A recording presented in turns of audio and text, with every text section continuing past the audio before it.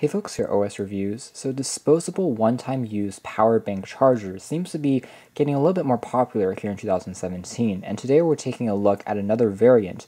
This time it's produced by a startup company based in Shenzhen, China. You can see a bit more information by this business card that they have here. They sell these in a few different capacities, and they are mostly 1000 milliamp hours, and again, it's a one-time use charger. So it's going to be best for emergencies if you want to put one in your car as a backup device, uh, maybe when the battery is completely dead and there's no other way to plug it into an external source.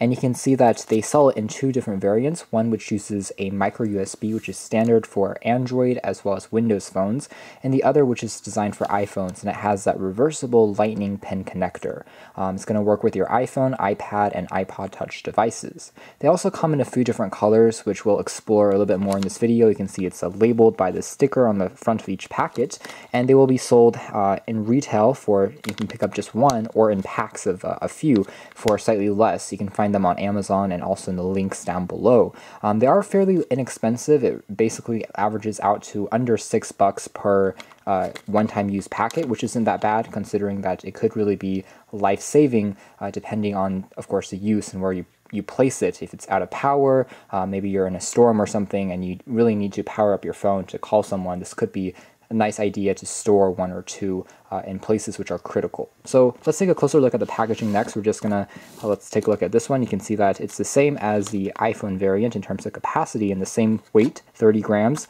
and the same overall dimensions. The Tearing at the perforated mark on the top, we can see that indeed this one is a orange color, and it's made out of this kind of polycarbonate plastic material, which is definitely different from the other disposable chargers that we've seen in the past, which were made out of this biodegradable, um, eco-friendly material that's easy to kind of just uh, recycle. But this seems to be, it's definitely disposable, but it's more of um, a real plastic sheath.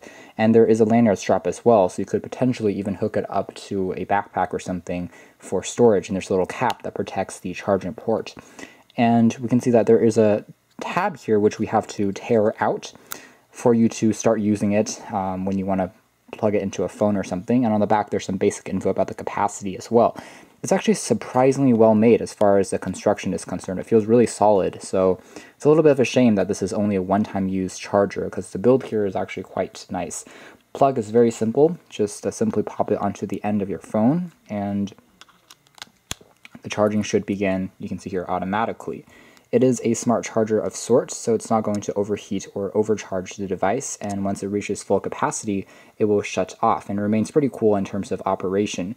Um, if you unplug it at any point, you know, before the battery runs out on the emergency charger, it still retains that juice, so you don't automatically lose it. You can plug it in again to continue the charging. So it's uh, kind of intelligent in that way as well. But again, there's no way to recharge up the battery on the inside.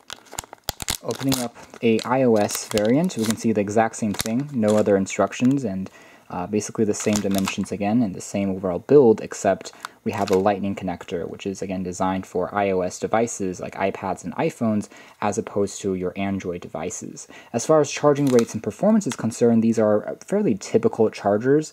Um, I would estimate that the output is roughly 5 volt 1 amp for each, which means that it will definitely add roughly you know 30 to 40% of juice in around an hour and a half. And for your uh, Android device, again, if you have a larger phablet with a 3000 milliamp hour capacity, it's only going to reach roughly 30% but it's going to add that juice in roughly an hour uh, or so. So it's not Qualcomm Quick Charge enabled, but it does work, and again, it will be compatible with both tablets as well as phones. These aren't waterproof or element proof, and they do stick out on the bottom of the phone when you're using it, so be a little bit more careful when you're handling it, but obviously you can still use your phone when it's being charged if you want to make a, a quick phone call or something like that.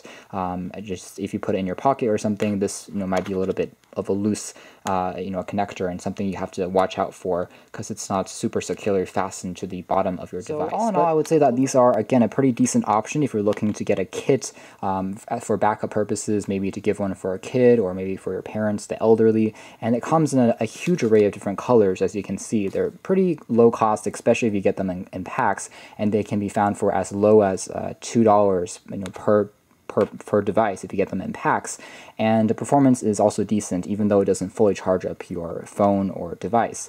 And uh, again, the price point is fair. I would say it's competitive with other one-time use chargers that I've reviewed in the past, and the construction is a little bit better, although it's not as easy to biodegrade after you're done using it. So you can check out more details in our upcoming article, which will also try to kind of take one apart and examine the circuitry a little bit more. But for now, this has been our video. Thanks for watching here at OS Reviews. This has been a closer look at yet another one-time use dispo disposable battery charger for phones and tablets.